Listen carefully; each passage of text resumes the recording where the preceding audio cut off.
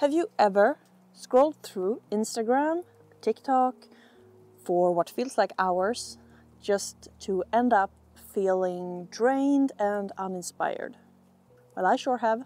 The spark to this thought actually comes from watching one of uh, Michael Bliss videos here on YouTube where he was talking to many of these aspects and for example one of them being how much of the content consuming that we do that are actually 100% mindless you know just aimlessly mindlessly scrolling through different social media feeds. Really it's like we're some kind of social media zombies just scrolling through and leaving comments with really no depth or substance behind it like just heart emoji so cute. Uh, looking good cool and so on. Usually it's not something that we i don't think that we do it consciously even. We just leave comments here and there and get sucked in by these platforms. And after all, I mean, all of the platforms, they are designed to, to keep our attention and to keep us scrolling. And I mean, this video is not going to be about like all, all, social media platforms are everything that's wrong with the world. That's not at all what I'm saying. I mean, I am here on YouTube. I'm also on Instagram. I do have a TikTok account. I mean, that's not the point. The point I want to make, which I'm going to go come to later, is eh, for creators and for us as, as people, as humans, how we can interact with these platforms and with content in a more intentional way. And of course, there are, I know there are thriving communities on pla other platforms like Instagram and TikTok as well that are very much engaged and they have very meaningful conversations. I mean, I have, for example, I have good conversations with my audience on uh, Instagram. And that's, I mean, I love that. That's just great. But most of the time, and I don't think I'm alone with this, it just feels like a mindless fire hose of content just blasting at your face. That's also, I feel like, something that is different with YouTube. Because over here on YouTube, I feel like you I mean, even a seven minute video, watching that is like an ocean of time and an ocean of attention spent on one single creator or one single content piece. Comparing that to, you know, the fast paced, the trendy, uh, really, I feel like the other, other content on other social platforms are really like pick me content. Really, it's so, it's so loud, it's loud visually, it's loud, um, like audibly, like the, voices are loud and music is loud and visually with the text and cuts and it's also fast and it's loud. I guess that's I guess that's the best way to describe it. And for me, I feel like I've seen I hope it's a trend, but here over here on YouTube that it's more slower a slower pace of content, a slower pace of videos that are on the rise. I'm not sure that is a trend, but I hope so. I really much, very much enjoy those kinds of videos myself. And you know, it's not like YouTube is our attention span content savior by any means. I mean, there are sure are downsides with YouTube as well, but I still can't help but feel like there is difference though. The vibe is different. And another thing, when you go on YouTube, you usually go there with some kind of purpose. You go there to do some research about something, to learn something, or you go there to watch a video that one of your favorite creators have uploaded, or I don't know, you go there with some kind of intentions. And of course, yes, again, one of the things with YouTube, there are of course the YouTube rabbit hole as well that you can just fall down very deep into. And there sure are strategies out there to get you binge watching videos as well, but but still, most of the time it's me actively choosing and actively clicking on videos that I want to watch, which makes me more of an active audience.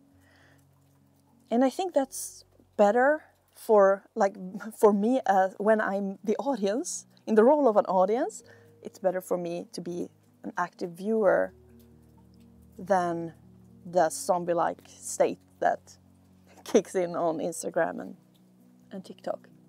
Really, you know, the endless aim for likes and comments and, you know, having that focus, I feel like really can stifle your artistic voice and really hinder you from sharing your perspective and talking in your own personal voice.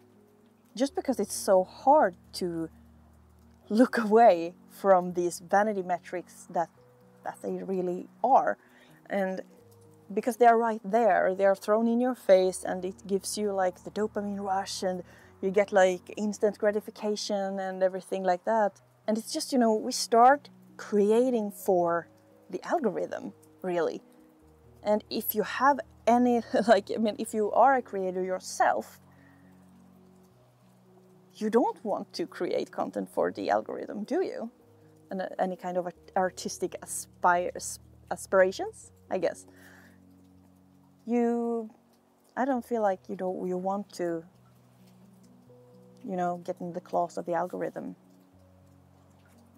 You know, we start creating for the algorithm and not for the love of the craft or the desire to share our life our perspective, and we lose the interconnection between humans when we only bow down to please the platforms. And I mean, the community and actually connecting with, with you guys. That's why one uploads videos. At least that's why I upload videos. Otherwise, I could just leave them on my computer. What if all these platforms disappeared tomorrow? Like they're just gone. We're back to like 19, I don't know, 96. what would you have to show for? I mean, all the time you spent on the platforms, what would you have to show for it? In best case scenario is like, hopefully maybe you actually got some friends that you can contact otherwise out of some of the platforms, but otherwise it's just random weird videos on your phone probably with not even with sound because you if you can't download them with the sound because of the copyright and stuff so yeah. If you do have creative ambitions, I believe that you're better off creating from a place of creative integrity instead of just trying to churn out this loud, fast paced content.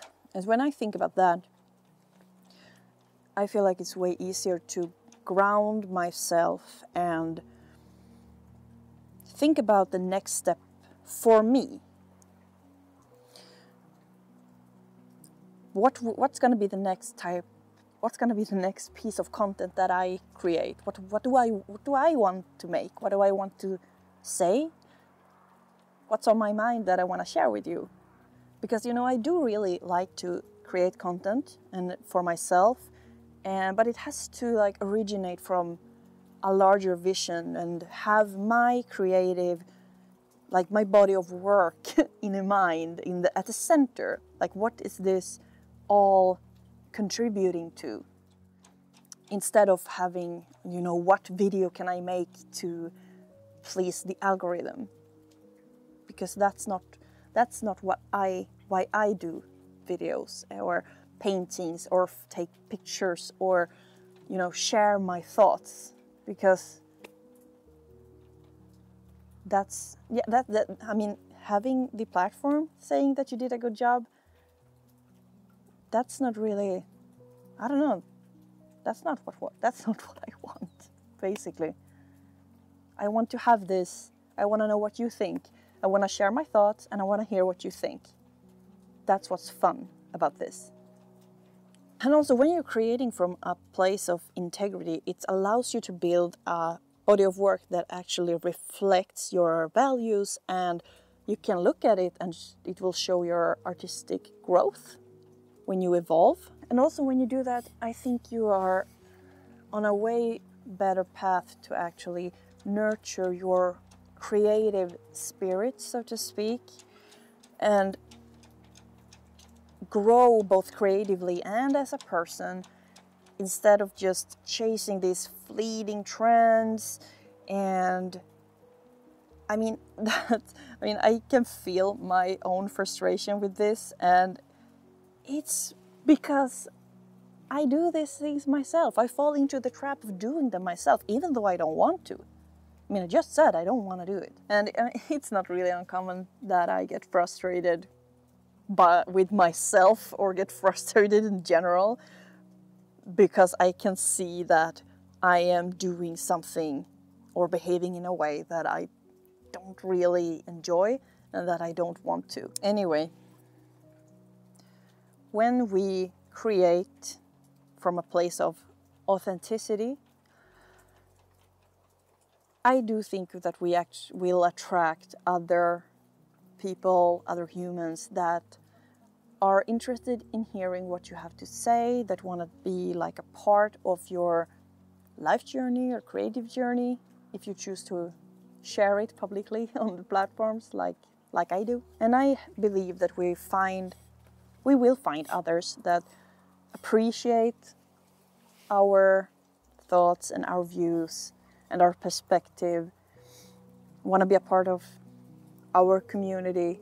And this having this foundation, it allows me to connect with you on a much deeper level and actually support one another in our in our quest to develop as individuals, as creatives, and just generally through life. Mm. Wow, I just dipped my whole face in this. I would love to hear your thoughts about this, on this topic, in the comments. Do you ever feel like you're scrolling and scrolling and just feel, you know, drained and maybe even sad after a doom scrolling session? Do you feel the pressure to conform, to change who you are? Which is also, I mean, that's maybe a whole other video. But if you have any artistic or creative, you know, aspirations to be an artist, if you fall into the trap of conforming, then, I mean, aren't you going to lose your artistic edge? I mean, being you, being you, being yourself, how cliche that might sound, is your edge.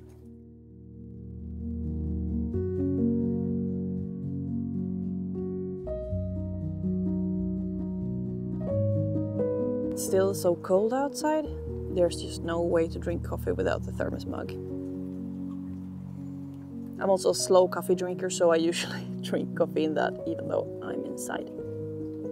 Life hack! I'm gonna be all dizzy from all the sun I get today.